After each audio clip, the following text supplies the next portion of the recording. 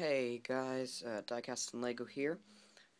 Uh, we're in our new review space. You guys have seen this before. Um, I'm just uploading this video really quick from my phone. I decided not to go into a lot of editing, really. I have some more older videos from uh, the old review space, but this is the new one.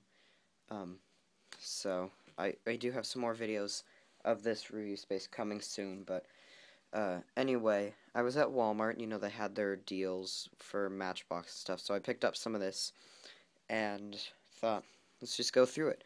So I got another uh, commemorative edition, got three regular Matchbox singles, and uh, three Hot Wheels. Um, short story behind uh, Surf Crate. I had, when I was about three or four, I was into Hot Wheels also, and uh, I had my parents got me a puzzle with a surf crate on it. It was a Hot Wheels jigsaw puzzle. But saw that today and thought it's pretty cool. So I'm going to keep one of these in box. I'm going to open up another one, but let's just go through it and uh, rip the blisters. Might as well start with the commemorative edition, Mitsubishi Lancer Evolution X Police. I believe this is in the British livery, the UK police forces don't know for sure, but it's a cool car. Thought I'd pick it up.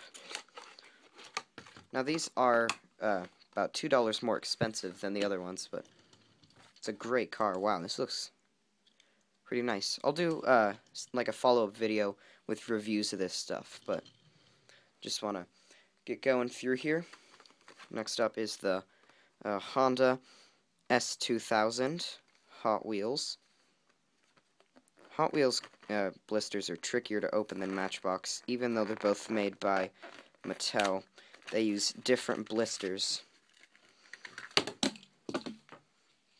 Dropped it off. The, so, here's that. Rolls nicely. Let's see, uh, one of these has a better package than the other. Yeah, might as well just open this one up. This is Surf Crate. As I said, I'll do a follow-up video with uh, reviews, the detail, and everything. Uh, also, of course, track time for these wonderful models.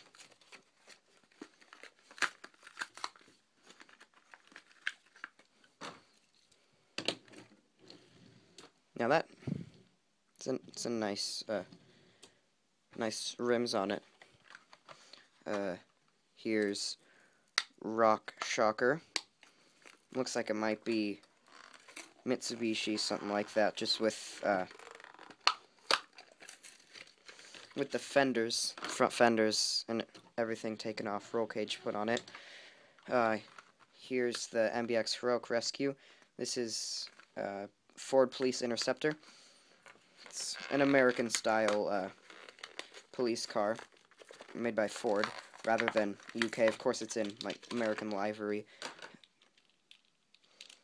plastic rims. It's all black. Looks pretty nice. And here's the 2011 uh, Porsche 911.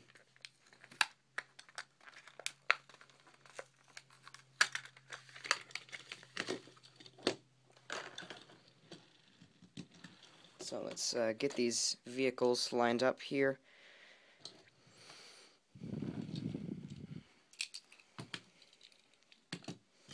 So, uh, thanks for watching, guys, and hope you enjoyed this short little uh, unboxing video.